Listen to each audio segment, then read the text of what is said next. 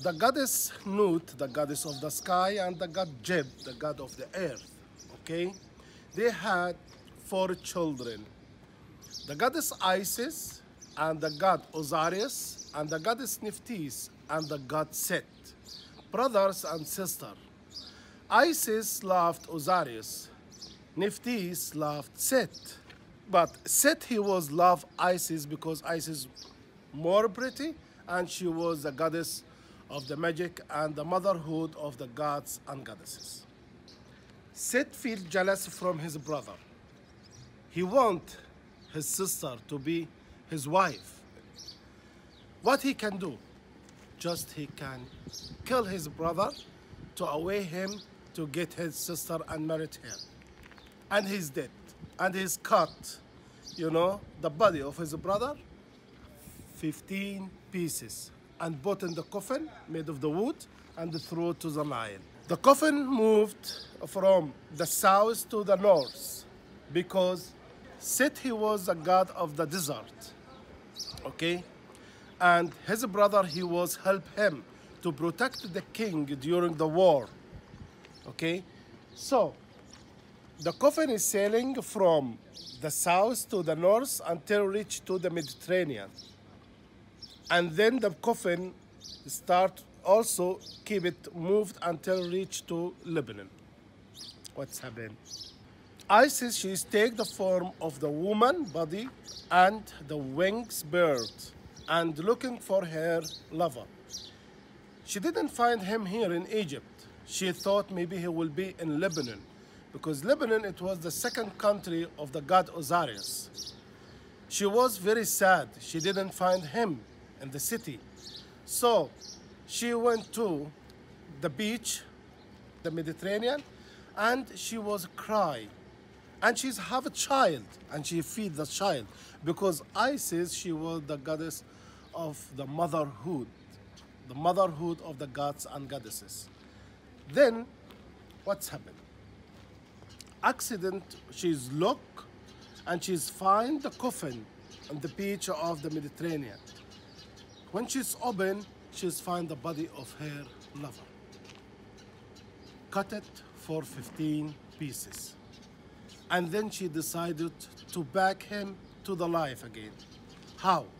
To make the council with the different gods and goddesses. For example, the god Amun-Ra, the god of the sun, and the god Khnum, the god of creation, and the god Anubis, the jackal, the god of mummification.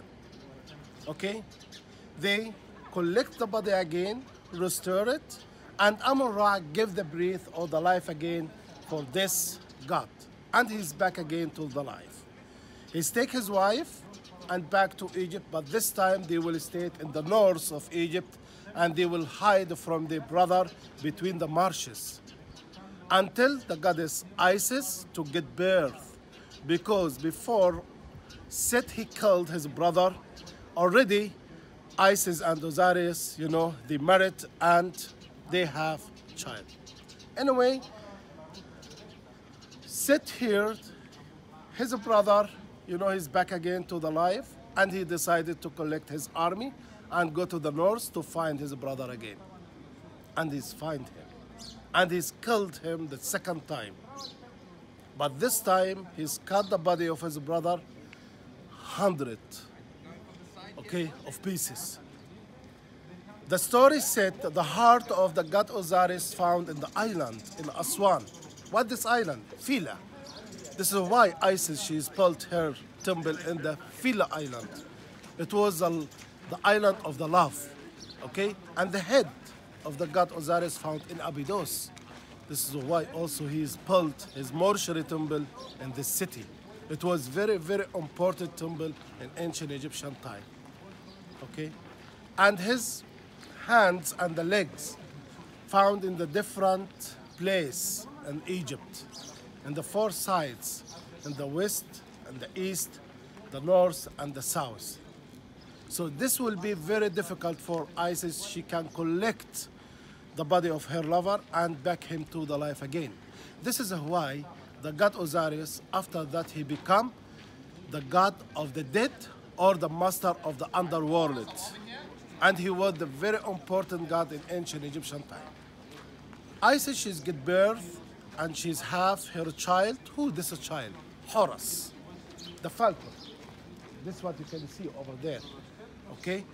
Horus, he decided to revenge from his uncle. His mother, she told him this story when he becomes strong and man. Okay?